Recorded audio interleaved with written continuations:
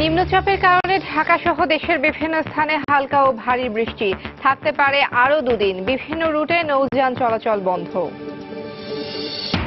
রোহিঙ্গাদের সরিয়ে নেয় দৃশ্যমান উখিয়া টেকনাফের পাহাড়ি এলাকার ক্ষতচিহ্ন, পরিবেশ বিপর্যয়ের শঙ্কা অনুপ্রবেশে কড়াকড়ির পর বেড়েছে দালালের দৌরাত্ম্য। বিচার বিলম্বিত করতে আদালতের সমালোচনায় বেগম জিয়া মন্তব্য আওয়ামী লীগের সরকারি প্রভাব বিস্তার করে তাকে হয়রানি করছে, বলছে বিএনপি। ষোড়শ সংশোধনীর আই রিভিউ অ্যাটর্নি জেনারেলের নেতৃত্বে দশ সদস্যের কমিটি গঠন, প্রস্তুত হচ্ছে রিভিউ পিটিশন। এবং নির্বাচনকালীন সরকার ও সেনা মোতায়েন ইস্যুই গুরুত্ব পেয়েছে রাজনৈতিক দলগুলোর সংলাপে। ইসির কৌশলের উপরই নির্ভর করছে সফলতা মত বিশেষজ্ঞদের।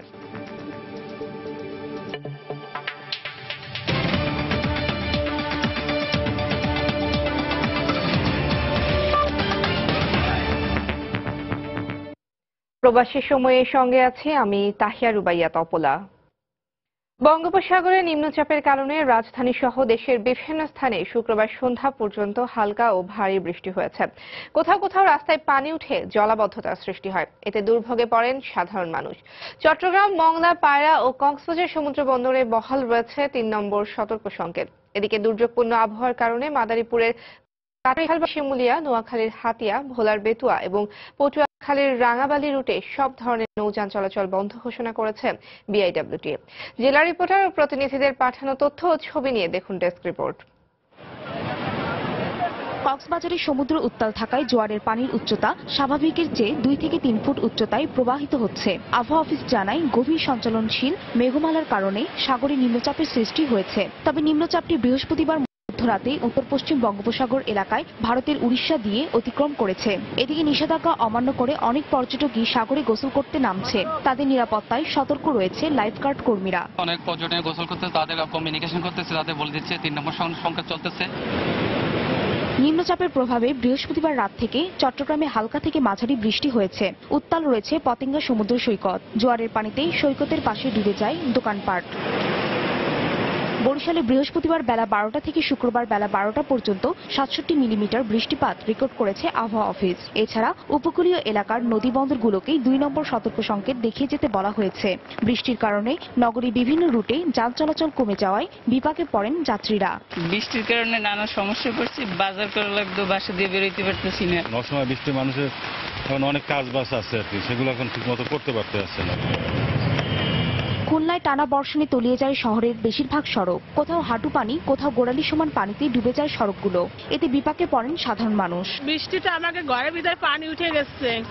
বাচ্চা কাছে বাইরে যেতে পারতেছে না। পাঁচ দশ মিনিট বৃষ্টি হইলেই মানে এখান থেকে হাঁটা তো দূরের কথা এখান থেকে একটা রিক্সা বা গাড়ি নেওয়া এখান থেকে যাওয়া যায় না। বৃষ্টির কারণে বাগেরহাটের কয়েকটি রাস্তা পানিতে ডুবে যাওয়ায় কাজে যেতে পারছেন না সাধারণ মানুষ। এছাড়া মংলা বন্দরে দেশি বিদেশি জাহাজে পণ্য খালাস বন্ধ রয়েছে। ব্যাহত হচ্ছে পরিবহনের কাজও। এতে ক্ষতির আশঙ্কা করছেন ব্যবসায়ীরা। খারাপ আবহাওয়ার কারণে মাদারীপুরের কাঁঠালবাড়ি শিমুলিয়া নৌরুটে বন্ধ রয়েছে সব ধরনের নৌযান চলাচল। এতে ঘাট এলাকায় আটকা পড়েছেন যাত্রীরা। এদিকে রাজশাহীতে দিনভর বৃষ্টিতে নেমে আসে স্থবিরতা। বৃষ্টি ও দমকা হাওয়ায় গাছ চাপা পড়ে এক অটোরিকশা চালক নিহত হয়েছেন। এছাড়া ঝিনাইদহ, সাতক্ষীরা সহ বিভিন্ন স্থানে বৃষ্টিতে সৃষ্টি হয়েছে জলাবদ্ধতা। এতে দুর্ভোগে পড়েন সাধারণ মানুষ। ফাহারিয়া ফারজানা, সময় সংবাদ। দিনভর বৃষ্টিতে তলিয়ে যায় রাজধানীর বেশিরভাগ সড়ক। বিশেষ করে নয়াপল্টন, শান্তিনগর, মৌচাক, ধানমন্ডি, মিরপুর এলাকার বিভিন্ন সড়কে কোথাও হাঁটু পানি, আবার কোথাও তারও বেশি। এসব এলাকায় দোকানপাটে উঠে যায় পানি। এতে চরম ভোগান্তিতে পড়ে নগরবাসী। ত্রুটিপূর্ণ পয় নিষ্কাশন ব্যবস্থার কারণে একটু বৃষ্টি হলেই এমন দুর্বিষহ পরিস্থিতিতে পড়তে হয় বলে অভিযোগ এসব এলাকার বাসিন্দাদের। এদিকে আগামী চব্বিশ ঘণ্টা দেশের বিভিন্ন স্থানে বৃষ্টিপাত হতে পারে বলে জানিয়েছেন আবহাওয়া অফিস। সাপ্তাহিক ছুটির দিন হলেও দিনভর বৃষ্টিতে ঘর থেকে বের হওয়ার উপায় কোথায়? তবুও নিত্য প্রয়োজন তো আর থেমে থাকে না। প্রয়োজনের তাগিদে যারাই ঘর থেকে বেরিয়েছেন, তাদের যেন ভোগান্তির অন্ত নেই। বিশেষ করে রাজধানীর নয়াপল্টন শান্তিনগর মৌচাক জিগাতলা শেওড়াপাড়া সহ বিভিন্ন এলাকার বাসিন্দাদের পড়তে হয় চরম ভোগান্তিতে। ড্রেন করছে বিশাল পানি যায় না। খুব কষ্ট হয় গাড়ি উল্টে জায়গা যায় গাড়ি খেয়ে যায়। অনেক পানি ইস্কার চাকা ডুবে যাচ্ছে তো। এই ময়লা পানি আমাদের এই এলাকার মানুষের এইভাবে পাড়ায় পাড়াতে হচ্ছে। মানুষের জীবনের অতিষ্ঠ করে দেয়। দুই ঘণ্টার উপর জামে আটকে থাকে এখন হাঁটতে হাঁটতে শুরু করছি যাব আইডিবি। এসব এলাকার দীর্ঘদিনের সমস্যা একটু বৃষ্টি হলেই রাস্তায় জমে যায় হাঁটু পানি। এলাকাবাসীর দাবি ওয়াসা এবং সিটি কর্পোরেশনের উদাসীনতার ফলে এ সমস্যার সমাধান হয় না। সিটি কর্পোরেশন ওয়াসা একজন আরেকজনের দোষ দেয়। আমাদের যে ড্রেনের যে ব্যবস্থাগুলো আছে এগুলো ঠিক নাই। যে ভোগান্তি আমরা চলতে গেলে সমস্যা এই বৃষ্টির জন্য আমরা রাস্তাঘাট চলতে পারি না। কোথাও কোথাও অতিরিক্ত জলাবদ্ধতার ফলে দোকানপাঠেও পানি উঠে যাওয়ায় ব্যবসায়ীরাও পড়েছেন বিপাকে। ক্রেতা তো দূরের কথা, দোকান সামলাতে হিমশিম খেতে হচ্ছে তাদের। দোকানের মধ্যে পানি উঠে যায়, ব্যবসা বাণিজ্য খারাপ হয়, লোকজন আসতে পারে না। আবহাওয়া অফিস জানিয়েছে সমুদ্রের নিম্নচাপের ফলে দেশের বিভিন্ন স্থানে আগামী চব্বিশ ঘণ্টা হালকা থেকে ভারী বৃষ্টিপাত হতে পারে। এদিকে চট্টগ্রাম মংলা সহ দেশের সমুদ্র বন্দরগুলোতে তিন নম্বর বিপদ সংকেত দেখিয়ে যেতে বলা হয়েছে। উত্তর বঙ্গোপসাগর এবং সমুদ্র বন্দরসমূহ মংলা পায়রা চট্টগ্রাম এবং কক্সবাজার সমুদ্র বন্দরসমূহকে তিন নম্বর স্থানীয় সতর্ক সংকেত দেখিয়ে যেতে বলা হয়েছে। পরবর্তী নির্দেশনা না দেওয়া পর্যন্ত নৌযানগুলোকে উপকূলে থাকতে বলা হয়েছে। হাবিবুল ইসলাম হাবিব সময় সংবাদ ঢাকা। দুদিনের টানা বর্ষণে বরগুনার বিষখালী নদীর পানি বাড়ায় বেড়িবাঁধ ভেঙে অন্তত পাঁচটি গ্রাম প্লাবিত হয়েছে। এতে চরম দুর্ভোগে পড়েছেন পানিবন্দী মানুষ। এরই মধ্যে আশ্রয় কেন্দ্রে যেতে শুরু করেছে দুর্গতরা। M A আজিমের report. বেড়িবাঁধ ভেঙে হু হু করে ঢুকছে পানি। বৃহস্পতিবার থেকে টানা বৃষ্টিতে বরগুনার বিষখালী ও খাগদুন নদীর পানি অস্বাভাবিকভাবে বেড়ে যায়। ভারী বৃষ্টির পাশাপাশি জোয়ারের চাপে শুক্রবার সকালে বিষখালী নদীর ডালভাঙা এলাকার তিনটি পয়েন্ট ভেঙে প্লাবিত হয় ডালভাঙা মোল্লারহোরা ও বড়ইতলা সহ পাঁচটি গ্রাম। এতে ঘরবাড়ি, রাস্তাঘাট ও পুকুর সহ তলিয়ে গেছে বিস্তীর্ণ এলাকার ফসলি জমি। অনেকে ঘরবাড়ি ছেড়ে ঠাই নিয়েছেন আশ্রয় কেন্দ্রে। এছাড়া গবাদি পশু নিয়ে চরম বিপাকে পড়েছেন পানিবন্দী মানুষেরা। বর্ষা হয়েছে পানি, আবার জোয়ারে পানি আসে আসবার ওই বেরিবাস ঠিক আছে কি? আর গরুগুলো তো সব তো পানির মধ্যে খাই দিচ্ছে সব। ঘর বাড়ি গরু বাছুর পুষ্কুনির মাছ অনেক ক্ষতি হয়েছে। রান্না বাড়া খাওয়া দাওয়া কিছুই নাই। তারা সব সেন্টারে উঠছে। মানুষ যে কীভাবে মাছ মোষ জানে যদ্দূর খুব অভাব পরিস্থিতিতে আছে। দুর্গতদের সহায়তার জন্য আশ্রয় কেন্দ্র এবং কন্ট্রোল রুম খোলা হয়েছে বলে জানিয়েছেন সদর উপজেলার নির্বাহী কর্মকর্তা। বন্যা দুর্গত এলাকাগুলোতে আমরা আশ্রয় কেন্দ্র খোলা রেখেছি সাইক্লোন শেল্টার যেটা। এবং ওই এলাকার যারা জনপ্রতিনিধি আছেন চেয়ারম্যান মেম্বার তাদেরকে নির্দেশনা দেওয়া আছে। তারা বন্যা দুর্গত মানুষের উপর নজর রাখছেন এবং নির্দেশনা দেওয়া আছে আশ্রয় কেন্দ্রগুলো খোলা থাকবে সবসময়। এবং একই সাথে আমাদের এখান থেকে যে কন্ট্রোল রুম সেটা আমরা চব্বিশ ঘণ্টা খোলা রাখব। শুক্রবার খাগদুন নদীর কোরক পয়েন্টে পানি বিপদসীমার একচল্লিশ সেন্টিমিটার ওপার দিয়ে প্রবাহিত হয়। এম এ আজিম সময় সংবাদ বরগুনা। প্রবাসী সময়ে আরও থাকছে। ঢাকা বিশ্ববিদ্যালয়ের ঘ ইউনিটের ভর্তি পরীক্ষায় জালিয়াতির অভিযোগে ছাত্রলীগ নেতা সহ পনেরো জন আটক। প্রশ্ন ফাঁসের বিষয়টি অস্বীকার কর্তৃপক্ষের।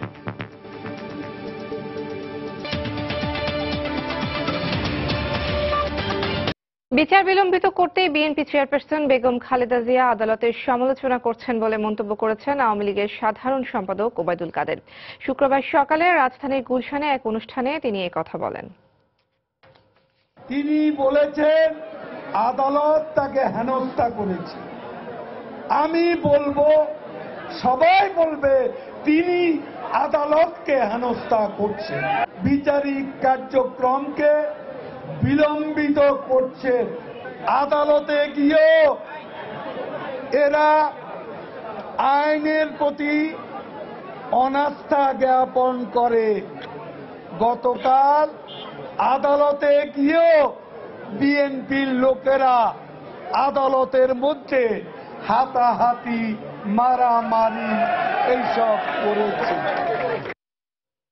এদিকে ওবায়দুল কাদেরের এই বক্তব্যের তাৎক্ষণিক প্রতিক্রিয়ায় বিএনপির সিনিয়র যুগ্ম মহাসচিব রুহুল কবির রিজভী বলেন বিচার বিভাগের ওপর প্রভাব খাটিয়ে মিথ্যা মামলায় বেগম জিয়াকে হয়রানি করছে সরকার। ওবায়দুল কাদের সাহেব যতই মানে কথার মানে দিয়ে এটাকে বিভ্রান্ত করার মানে চেষ্টা করুন না কেন, এটা জাতি বিভ্রান্ত হবে না। আদালতের ঘাড়ে বন্দুক দিয়ে তাদের রাজনৈতিক প্রতিহিংসা বাস্তবায়ন করার জন্য তারা চেষ্টা করে যাচ্ছেন। সেই চেষ্টারই অংশ হচ্ছে বিএনপি চেয়ারপারসন এবং সাবেক তিনবারের প্রধানমন্ত্রী, তাকে মানে আইনের নামে, আদালতে হাজিরার নামে তাকে যেভাবে হয়রানি করা হচ্ছে, সত্যি এই জিনিসটা অত্যন্ত নজিরবিহীন এবং এইটা মানে সরকারের পক্ষ থেকে করা হচ্ছে। বিএনপি মহাসচিব মির্জা ফখরুল ইসলাম আলমগীর বলেছেন, বিএনপি যাতে আগামী নির্বাচনে আসতে না পারে, সেজন্য সরকার বিভিন্ন ষড়যন্ত্র করছে। শুক্রবার বিকেলে গাজীপুরের কাপাসিয়ায় প্রয়াত বিএনপি নেতা আসম হান্নান শাহের প্রথম মৃত্যুবার্ষিকীতে স্মরণ সভায় একথা বলেন তিনি। মির্জা ফখরুল বলেন, বিএনপি চেয়ারপারসনের বিরুদ্ধে মামলা দিয়ে সরকার তাকে হয়রানি করছে। ষড়যন্ত্র করছেন, চক্রান্ত করছেন, বিএনপি যেন নির্বাচনে আসতে না পারে।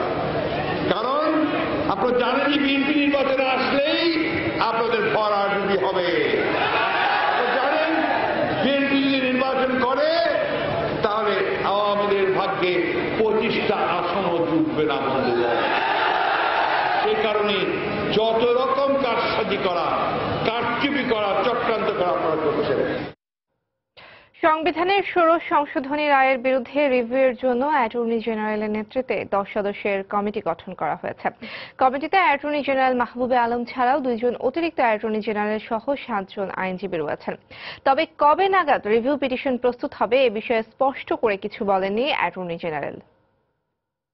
আমাকে নিয়ে দুইজন এডিশনাল অ্যাটর্নি জেনারেলকে নিয়ে এবং বাকি প্রায় সাতজন এডিশনাল অ্যাটর্নি জেনারেলকে নিয়ে একটা কমিটি করেছি। আমরা রিভিউর ব্যাপারে প্রস্তুতি নিচ্ছি এবং আমাদের এটাকে তৈরি করার কার্যক্রম চালিয়ে যাচ্ছি। তো কবে নাগাদ এটা আমরা শেষ করতে পারব, সেটা এই মুহূর্তে বলা যাচ্ছে না। একাদশ সংসদ নির্বাচনকে সামনে রেখে রাজনৈতিক দলের সঙ্গে ইসির সংলাপে পাঁচশো ছিয়াশি সুপারিশ তুলে ধরেছে নিবন্ধিত চল্লিশটি রাজনৈতিক দল। এর মধ্যে সেনাবাহিনী মোতায়েন, সংসদ ভেঙে দেয়া সহ গুরুত্বপূর্ণ বিভিন্ন ইস্যুতে পক্ষে বিপক্ষে রয়েছে নানা মত। এসব সুপারিশ আমলে নিয়ে পরিস্থিতি বিবেচনায় তা বাস্তবায়নের আশ্বাস দিয়েছেন নির্বাচন কমিশন। আর বিশেষজ্ঞরা বলছেন, সুপারিশ বাস্তবায়নের উপরই নির্ভর করবে সংলাপের সাফল্য আর ব্যর্থতা। একাদশ সংসদ নির্বাচনকে সামনে রেখে কমিশন ঘোষিত রোডম্যাপ অনুসারে সুশীল সমাজের প্রতিনিধিদের সঙ্গে আলোচনার মধ্য দিয়ে একত্রিশে জুলাই সংলাপ শুরু করে নির্বাচন কমিশন। এরই ধারাবাহিকতায় চব্বিশে আগস্ট থেকে নিবন্ধিত রাজনৈতিক দলগুলোর সঙ্গে সংলাপে বসে ইসি। রাজনৈতিক দলগুলোর সঙ্গে প্রায় দুই মাস ধরে চলা এই সংলাপে সবগুলি দলই তুলে ধরে একটি গ্রহণযোগ্য নির্বাচনের ক্ষেত্রে করণীয়। আওয়ামী লীগের এগারো আর বিএনপির বিশ দফা সহ চল্লিশটি রাজনৈতিক দল তুলে ধরে পাঁচশো ছিয়াশিটি সুপারিশ। এর মধ্যে লেভেল প্লেইং ফিল্ড নিশ্চিত পেশি শক্তি ও কালো টাকার ব্যবহার রোধ নির্ভুল ভোটার তালিকা সহ বেশ কিছু বিষয়ে অভিন্ন মতামত সবগুলো রাজনৈতিক দলেরই। অন্যদিকে নির্বাচনে সেনা মোতায়েনের পক্ষে মত দিয়েছে ছাব্বিশটি রাজনৈতিক দল। যদিও এর মধ্যে বিচারিক ক্ষমতা দিয়ে সেনা চেয়েছে দশটি দল আর স্ট্রাইকিং ফোর্স হিসাবে সেনা চায় তেরোটি দল। আর সেনা মোতায়েনের বিপক্ষে বলেছে চারটি দল। কমিশনের কর্মপরিকল্পনায় ইভিএম না থাকলেও এই প্রক্রিয়ার ভোট গ্রহণ চায় এগারোটি রাজনৈতিক দল আর চায়নি আটটি। এছাড়া খেলাফত মজলিস, ইসলামী ফ্রন্ট আর জামায়াতে উলামে ইসলাম মত দিয়েছে তেত্রিশ শতাংশ নারী প্রতিনিধিত্ব বিধানের বিপক্ষে। আবার কমিশনের এখতিয়ার নয়, এমন বিষয়েও বারবার উঠে এসেছে সংলাপে। চলতি সংসদ ভেঙে দিয়ে সহায়ক সরকারের অধীনে নির্বাচন চায় উনিশটি দল। সাতটি দল সাফ জানিয়ে দিয়েছে, বর্তমান সরকারের অধীনেই সুষ্ঠু নির্বাচন সম্ভব। বিষয়টি সংবিধান নির্ধারিত হওয়ায় আওয়ামী লীগ সহ চোদ্দটি দল কথা বলেনি নির্বাচনকালীন সরকার নিয়ে। এসব সুপারিশ আমলে নিয়েই নিজেদের করণীয় ঠিক করবে বলে জানিয়েছেন কমিশন সচিব। কিছু কিছু প্রস্তাব পাওয়া গেছে যেগুলো নির্বাচন কমিশনের এখতিয়ারভুক্ত, আর কিছু প্রস্তাব পাওয়া গেছে রাজনৈতিক কিছু সাংবিধানিক। শুধু এখন নির্বাচন কমিশন শুনে গেছে। পরবর্তীকালে তারা একত্রে বসে এগুলো বিশ্লেষণ করে কোনটা সরকারের কাছে সুপারিশ যাবে কোনটা যাবে না কোনটা নিজেরা। করবে এগুলো তখন ঠিক হবে। ইলেকশনের জন্য আর কমিশনের পরবর্তী পদক্ষেপের উপরই এই সংলাপের ফলাফল নির্ভর করবে বলে মনে করেন বিশেষজ্ঞরা। যে ইলেকশন কমিশনের যে অ্যাপ্রোচটা তারা নিয়েছে সেই অ্যাপ্রোচে তারা কতখানি লাভবান হবে সেটা আমি এখনও বলতে পারব না। যখন তারা ফাইনালি করবে তারা কীভাবে এটাগুলোকে ট্রান্সলেট করবে এগুলোকে এই প্রেক্ষাপট তৈরি করবে এবং রেকমেন্ডেশনগুলো যদি তারা তৈরি করবে সেটা দেখলে বুঝতে পারব। বাইশে অক্টোবর থেকে টানা তিন দিন নারী নেত্রী পর্যবেক্ষক ও নির্বাচন বিশেষজ্ঞদের সঙ্গে সংলাপে বসবে নির্বাচন কমিশন।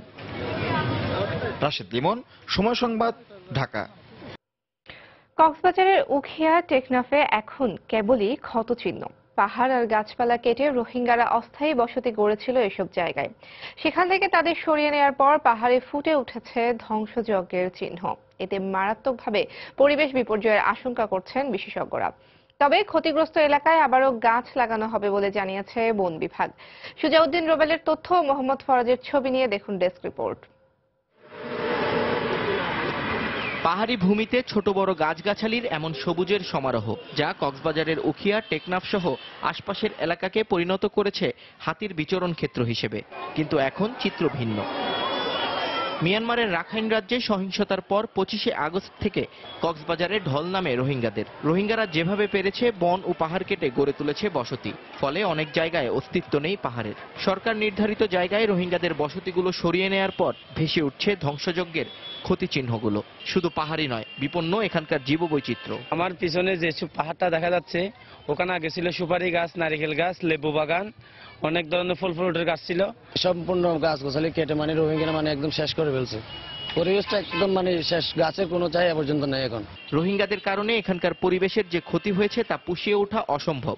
এখন দ্রুত বনায়ন সহ পাহাড়ে নতুন করে বসতি স্থাপনে কঠোর পদক্ষেপ নেওয়া প্রয়োজন বলে জানালেন এ পরিবেশ কর্মী। এগুলি ফিরিয়ে আনার জন্য বন বিভাগ পরিবেশ অধিদপ্তর এবং পরিবেশ সংক্রান্ত যে সংগঠনগুলো আছে তাদেরকে সমন্বয় করে কিন্তু এই পরিবেশের আগের অবস্থায় ফিরিয়ে আনার জন্য কাজ করা প্রয়োজন। নির্ধারিত তিন হাজার একর আশ্রয় কেন্দ্র এলাকার বাইরে আরও প্রায় আড়াই হাজার একর পাহাড়ি ভূমির বনাঞ্চল ক্ষতিগ্রস্ত হয়েছে বলে জানালেন বন বিভাগের এই কর্মকর্তা। রোহিঙ্গারা যখনই এদেশে এসেছে তখনই কিন্তু আমাদের আহ, বনভূমিতে তারা বসতি স্থাপন করেছে। বালুখালী এবং কুতুপালং এলাকাতে তিন হাজার একর জায়গা নিয়ে একটা অস্থায়ী ক্যাম্প করা হচ্ছে। তো ওখান থেকে যখনই মানুষ সরে আসবে, তখন আমরা নিশ্চয়ই মনোনয়ন করব।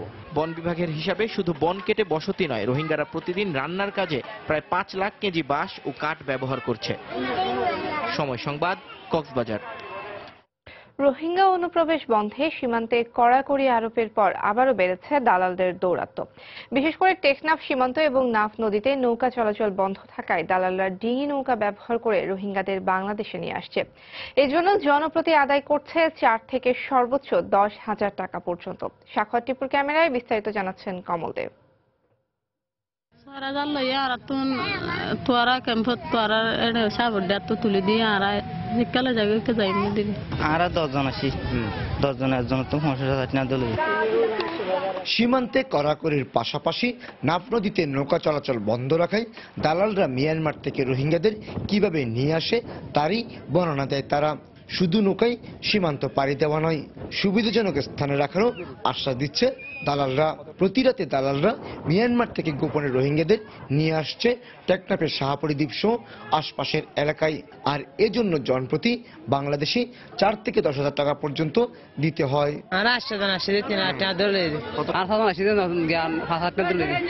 দশ হাজার টাকা দিলে আর বুড়ো তুলে আনলে আর বুড়ো ন তুলে বইলা।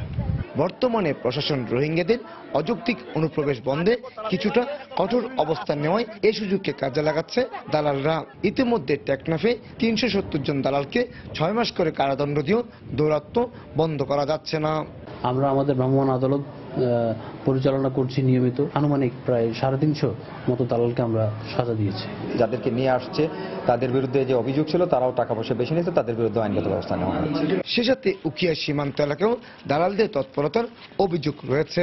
তবে সীমান্তবর্তী এলাকায় দালালদের বিরুদ্ধে কঠোর ব্যবস্থা নেওয়ার কথা জানালেন এই বিজিবি কর্মকর্তা। পুলিশ কাজ করছে আর আমাদের এই জিরো লাইনে তো আসলে কারোর আসার কথা না। জিরো লাইনে কেউ এসে পড়লে আমরা অবশ্যই তাদেরকে আটকাবো আমরা পুলিশে সোপর্দ করব। গত পঁচিশে আগস্টের পর এখন পর্যন্ত নৌকাডুবিতে অন্তত একশো সত্তর জনের লাশ উদ্ধার করা হয়েছে। যে কারণে টেকনাফ উপজেলা প্রশাসন নৌকা চলাচল বন্ধ রেখেছে। চার দিন নোম্যান্সল্যান্ড এবং জিরো পয়েন্টে অবস্থানের পর এসব রোহিঙ্গা ফিরে যেতে পেরেছে শরণার্থী শিবিরে। কিন্তু তার আগে তাদের পোহাতে হয়েছিল অবর্ণনীয় দুর্ভোগ এবং দুর্দশা। আর এটিকে পুঁজি করার চেষ্টা করছেন দালালরা। দালালরা তাদের আশ্বাস দিচ্ছেন যেখানে বিজিবির পাহারা নেই, তার বাইরে দিয়ে তাদেরকে নিয়ে যাওয়া হবে সুবিধাজনক স্থানে। আর এর বিনিময়ে তারা আদায় করে নিচ্ছে হাজার হাজার টাকা। উখিয়ার আঞ্জুমান পাড়া সীমান্ত থেকে কমল দে, সময় সংবাদ। গত দেড় মাসে মিয়ানমার থেকে আসা রোহিঙ্গাদের মধ্যে দুই লাখ চব্বিশ হাজার জনের নিবন্ধন এবং পরিচয়পত্র দেওয়া হয়েছে। আগামী এক মাসের মধ্যে আরও সাড়ে তিন লাখ রোহিঙ্গাকে এই নিবন্ধনের আওতায় আনা হবে।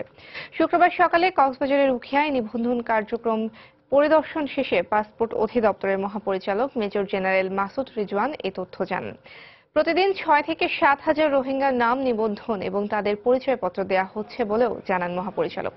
এদিকে চার দিন নোম্যান্স ল্যান্ডে অবস্থানের পর গতকাল মিয়ানমার থেকে আসা রোহিঙ্গারা উখিয়ার কুতুপালং ও বালুখালীতে বিভিন্ন এনজিও সংস্থার শেডে আশ্রয় নিয়েছে। Mandara hawai na mu bida ma o takiwa ama te antu ya dole takido bisu bida pura ama ayara ya dole gadia Vai ara hode biskut pai na i gwanda indara ha ara washa halalu ti gwanda hande de bathai bala hane mare de ara tu de abulai ke bishi আমরা ওদের সমস্ত তথ্য নিচ্ছি finger দশটা fingerprint নিচ্ছি ওদের ছবি নিচ্ছি ওদের যেই ঠিকানা থেকে আসছে সেই ঠিকানা নিচ্ছি এগুলো সব তথ্য থাকতেছে আমাদের ফিউচারে আমরা ওদের যে ফিঙ্গারপ্রিন্ট এবং সকল তথ্য, এটা আমাদের পাসপোর্ট অধিদপ্তরের ডাটা সেন্টারে থাকবে প্রবাসী সময়ে আরও থাকছে। বিসিবির নির্বাচনের প্যানেল ঘোষণা। তেইশটির পরিচালক পদের একুশটিতেই বিনা প্রতিদ্বন্দ্বিতায় নির্বাচিত হতে যাচ্ছেন নাজমুল হাসান পাপন প্যানেলের প্রার্থীরা।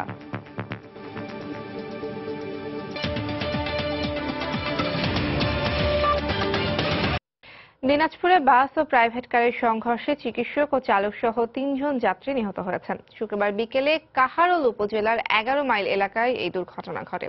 প্রত্যক্ষদর্শীরা জানান, ঢাকা থেকে নাবিল পরিবহনের যাত্রীবাহী একটি বাস ঠাকুরগাঁও যাচ্ছিল।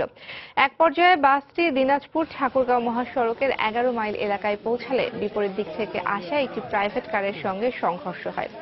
এতে ঘটনাস্থলে প্রাইভেট কারের চালক শাহজাহান ওষুধ কোম্পানির প্রতিনিধি শফিউল ও সামিউল কবির নামে এক চিকিৎসক নিহত হন। তাদের বাড়ি রংপুর জেলায় বলে জানায় পুলিশ। দুজন স্পটে মারা যায়। নাবিল গাড়ি নাবিল গাড়ির সাথে একটি কারের মুখোমুখি সংঘর্ষ হয়। মুখোমুখি সংঘর্ষ হওয়ার ফলে দুইজন স্পটে মারা যায় এবং একজন স্টিয়ারিং এর সাথে চাপা চাপা খেয়ে আটকে থাকে। এবার প্রবাসের কিছু খবর। মালয়েশিয়ায় সড়ক দুর্ঘটনায় এক বাংলাদেশি নিহত হয়েছে। আহত হয়েছে আরও দুই বাংলাদেশি। শুক্রবার মালাক্কা প্রদেশের মারলিমাও এলাকায় এই হতাহতের ঘটনা ঘটে। নিহতের নাম রাইজুল মিয়া। আহতদের মেলাকা হাসপাতালে চিকিৎসা দেওয়া হচ্ছে এবং তাদের অবস্থা আশঙ্কাজনক বলে জানিয়েছে হাসপাতাল কর্তৃপক্ষ। জাসিন জেলা পুলিশ জানায়, এগারো টন ধারণ ক্ষমতা সম্পন্ন মুরগিবাহী লরিটি নিয়ন্ত্রণ হারিয়ে রাস্তার পাশে উল্টে যায়। এতে ঘটনাস্থলে ওই বাংলাদেশির মৃত্যু হয়। দুর্ঘটনার কারণ অনুসন্ধানে সড়ক পরিবহন আইন অনুযায়ী তদন্ত চলছে।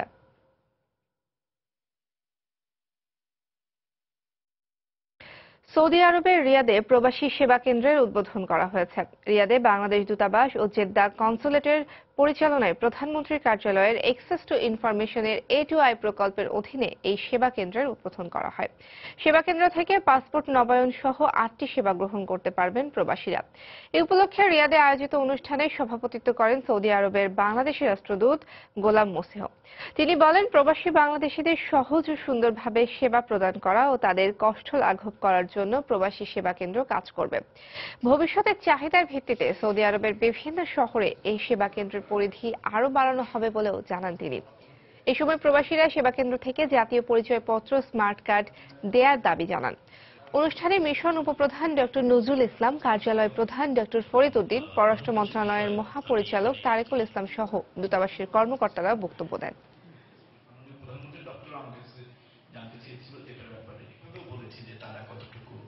তাদেরকে দাওয়াত দিচ্ছেন ওরা ঠিক বললেই হইল। মাদকাসক্তি থেকে দূরে রাখতে যুব সমাজকে খেলাধুলায় সম্পৃক্ত করার জন্য অভিভাবকদের প্রতি আহ্বান জানিয়েছেন ইতালির রোমের প্রবাসী বাংলাদেশি কমিউনিটির নেতাকর্মীরা। রোমে গ্রীষ্মকালীন ক্রিকেট টুর্ন- টুর্নামেন্টের পুরস্কার বিতরণী অনুষ্ঠানে কমিউনিটির নেতারা এই আহ্বান জানান। অনুষ্ঠানে বাংলাদেশ সমিতির ভারপ্রাপ্ত সভাপতি নায়েব আলী, সাবেক সভাপতি নূরে আলম সিদ্দিকী বাচ্চু নাপোলি সমিতির সভাপতি জয়নাল আবেদিন হাজারি, অলিউদ্দিন শামীম সহ অনেকে বক্তব্য দেন। এর আগে রোম বিড স্পোর্টিং ক্লাবের উদ্যোগে টুর্নামেন্টের এবারের ফাইনালে নোয়াখালী ফ্রেন্স ক্লাবকে দুই রানে পরাজিত করে চ্যাম্পিয়ন্স হয় ট্রেগুলো ক্রিকেট ক্লাব। পরে বিজয়ীদের হাতে পুরস্কার তুলে দেন কমিউনিটির নেতারা। জয় বাংলা ইউথ অ্যাওয়ার্ডের দ্বিতীয় আসরের উদ্বোধন হল শুক্রবার। সাভারে শেখ হাসিনা ন্যাশনাল ইউথ সেন্টারে তরুণ উদ্যোক্তাদের ত্রিশ জনকে মনোনয়ন দেওয়ার মধ্য দিয়ে দুই দিনের এই আসরের উদ্বোধন করা হয়। অনুষ্ঠানে দুই প্রতিমন্ত্রী জানান, সরকার ডিজিটাল বাংলাদেশ গড়তে তরুণদের জন্য প্রশিক্ষণ ও আর্থিক বিভিন্ন প্রকল্প গ্রহণ করেছে।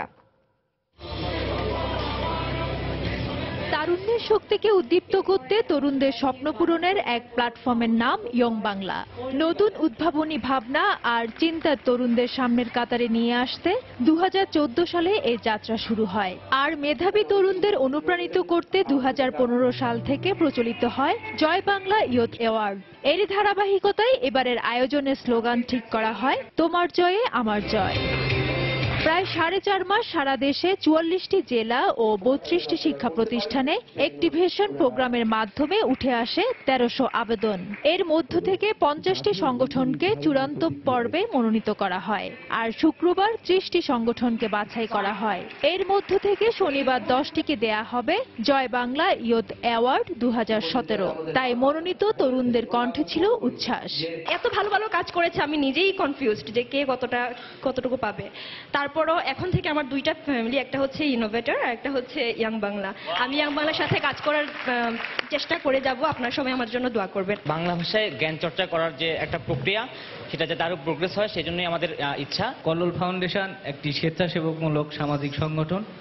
আমরা সমাজে পিছিয়ে পড়া লোকদের নিয়ে কাজ করি। আয়োজকেরা জানান তরুণদের মাধ্যমে দেশ বদলে দিতে তরুণদের স্বপ্ন পূরণে কাজ করছে সরকার। আপনারা যারা নতুন নতুন আইডিয়া নিয়ে কাজ করছেন তাদের জন্য আমরা ইনোভেশন ফান্ড থেকে পঁচিশ লাখ টাকা পর্যন্ত অনুদান দেওয়ার সুযোগ রেখেছি। যারা প্রতিবন্ধী ভাই বোনদের নিয়ে কাজ করছেন আমাদের পঞ্চাশ লক্ষ টাকা পর্যন্ত আপনাদেরকে দেওয়ার সুযোগ আছে। আমাদের কোনো জাদুকরি কিছু নাই। কিছু বলব যে বিরাট কিছু বানিয়ে দেব। না। আমরা অ্যাকচুয়ালি তোমাদের কাছ থেকে শেখার জন্য কিন্তু আমরা তোমাদের সাথে একসাথে হয়েছি। চূড়ান্ত বিজয়ীদের শনিবার অ্যাওয়ার্ড দেবেন প্রধানমন্ত্রীর তথ্য ও যোগাযোগ প্রযুক্তি উপদেষ্টা সজীব ওয়াজেদ জয়। ফেদুসলিপি সময় সংবাদ, ঢাকা। সামাজিক যোগাযোগ মাধ্যমে ঘ ইউনিটের প্রশ্ন ফাঁসের অভিযোগের মধ্য দিয়ে শেষ হল ঢাকা বিশ্ববিদ্যালয়ের দুই হাজার সতেরো আঠারো শিক্ষাবর্ষের ভর্তি পরীক্ষা। এই ঘটনায় ক্ষোভ প্রকাশ করেছেন শিক্ষার্থী ও অভিভাবকরা। তবে প্রশ্ন ফাঁসের কোনো তথ্য নেই দাবি করে বিশ্ববিদ্যালয় কর্তৃপক্ষ জানায়, উপযুক্ত প্রমাণ পেলে প্রয়োজনীয় ব্যবস্থা নেওয়া হবে। এছাড়া ভর্তি পরীক্ষায় জালিয়াতির অভিযোগে কেন্দ্রীয় ছাত্রলীগের সহ সম্পাদক সহ পনেরো জনকে আটক করা হয়। দু হাজার সতেরো আঠারো শিক্ষাবর্ষে ঢাকা বিশ্ববিদ্যালয়ের ভর্তি পরীক্ষার শেষ দিনে শুক্রবার অনুষ্ঠিত হয় ঘ ইউনিটের অধীনে ভর্তি পরীক্ষা। পরীক্ষায় ইলেকট্রনিক ডিভাইস ব্যবহার করে অসদুপায় অবলম্বনের সঙ্গে জড়িত থাকার অভিযোগে আটক করা হয় পনেরো জনকে। তাদের মধ্যে বারো জনকে এক মাস করে কারাদণ্ড দিয়েছে ভ্রাম্যমাণ আদালত। আর কেন্দ্রীয় ছাত্রলীগের এক নেতা সহ তিনজনকে হস্তান্তর করা হয়েছে সিআইডির কাছে। ডিভাইসের মাধ্যমে তারা জালিয়াতি করছিল। বিভিন্ন সেন্টার থেকে আটক করা হয়েছে তেরো জনকে। আর দুজনকে গত রাতে আটক করা হয়েছে। ওই শহীদুল্লাহ হল এবং একুশে হল। পরীক্ষা কেন্দ্র পরিদর্শনে গিয়ে জালিয়াতির সঙ্গে জড়িত চক্রের উৎস খুঁজে বের করতে কাউন্টার টেরোরিজম ইউনিটের সহায়তা নেওয়া হচ্ছে বলে জানান উপাচার্য। কাউন্টার টেরোরিজম ইউনিট তাদের সহায়তা নিচ্ছি তাদের কাছে আমরা নাম ধাম দিয়ে দিচ্ছি তারা এখন উৎসটা বের করবে। কারণ এগুলো বিশ্ববিদ্যালয় পারবে না এগুলো সংশ্লিষ্ট আইন শৃঙ্খলা রক্ষাকারী বাহিনী পারবে কিন্তু আমাদের তরফ থেকে এই নাম ধামগুলো তাদের কাছে দিয়ে তাদের সহায়তা নিয়ে আমরা এর মূল উৎপাদন করতে চাই। এদিকে পরীক্ষার আগের রাতে সামাজিক যোগাযোগ মাধ্যমে প্রশ্ন ফাঁসের অভিযোগও পাওয়া গেছে। তবে এ ধরনের কোনো তথ্য পাওয়া যায়নি বলে দাবি করেছেন সামাজিক বিজ্ঞান অনুষদের ডিন। যারা আসলে প্রস্তুতি নিয়েছে দেখা যাচ্ছে অনেকে ওদের কারণে টিকতে পারতেছে না। লাইফের বড় বড় এক্সামগুলো শুনি প্রশ্নপত্র ফাঁস। এটা ভীষণ শকিং ঢাকা ভার্সিটি যদি এরকম হয় তাহলে অন্যান্য ভার্সিটি কি শিখবে? স্বপ্ন দেখে একটা ছাত্র যে ঢাকা ইউনিভার্সিটিতে পড়ব। কিন্তু প্রশ্নপত্র ভাষণে কি সে টিকবে? আমি নিজেও ফেসবুক করি। আমি কোনো কিছু দেখিনি। আচ্ছা আপনারা কি তদন্ত করে এটা দেখবেন? সেটা আপনি নিয়ে আসেন হাজির করেন তখন অবশ্যই দেখা হবে। আপনার তো দেখাতে হবে। আমাদের মাননীয় উপাচার্যকে দেখান আমরা সেইভাবে ব্যবস্থা নিব। এবারের ঘ ইউনিটের পরীক্ষায় এক হাজার ছয়শো দশটি আসনের বিপরীতে অংশ নেন আটানব্বই হাজার চুয়ান্ন জন পরীক্ষার্থী। ফারুক ভূঁইয়া রবিন সময় সংবাদ ঢাকা। এ পর্যায়ে শীর্ষ সংবাদগুলো জানিয়ে দিচ্ছি আরেকবার। নিম্নচাপের কারণে ঢাকা সহ দেশের বিভিন্ন স্থানে হালকা ও ভারী বৃষ্টি। থাকতে পারে আরও দুদিন। বিভিন্ন রুটে নৌযান চলাচল বন্ধ। রোহিঙ্গাদের সরিয়ে নেয়ায় দৃশ্যমান উখিয়া টেকনাফের পাহাড়ি এলাকার ক্ষতচিহ্ন, পরিবেশ বিপর্যয়ের শঙ্কা অনুপ্রবেশে কড়াকড়ির পর বেড়েছে দালালের দৌরাত্ম্য। বিচার বিলম্বিত করতে আদালতের সমালোচনায় বেগম জিয়া, মন্তব্য আওয়ামী লীগের সরকারি প্রভাব বিস্তার করে তাকে হয়রানি করছে, বলছে বিএনপি। ষোড়শ সংশোধনী রায় রিভিউ, অ্যাটর্নি জেনারেলের নেতৃত্বে দশ সদস্যের কমিটি গঠন, প্রস্তুত হচ্ছে রিভিউ পিটিশন। এবং নির্বাচনকালীন সরকার ও সেনা মোতায়েন ইস্যুই গুরুত্ব পেয়েছে রাজনৈতিক দলগুলোর সংলাপে। ইসির কৌশলের উপরই নির্ভর করছে সফলতা মত বিশেষজ্ঞদের। এই ছিল প্রবাসী সময়ে। যে কোনো খবর পেতে ভিজিট করুন সময় নিউজ ডট টিভি যে কোনো বাংলা ও রবি নম্বর থেকে সময় সংবাদের খবর, অনুষ্ঠান সূচি জানতে এবং যে কোনো তথ্য সময় সংবাদকে জানাতে ডায়াল করুন one six two four two নম্বরে। এছাড়া এই মাত্র পাওয়া খবর আপনার মোবাইলে পেতে S M S phone star space B লিখে পাঠিয়ে দিন one six two four two নম্বরে। সঙ্গে থাকুন সময়।